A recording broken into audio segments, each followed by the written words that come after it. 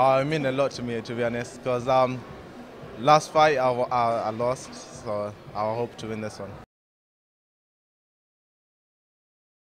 I'm going on a lot more runs, doing a lot more, working a lot more harder than usual, so hopefully I get the win.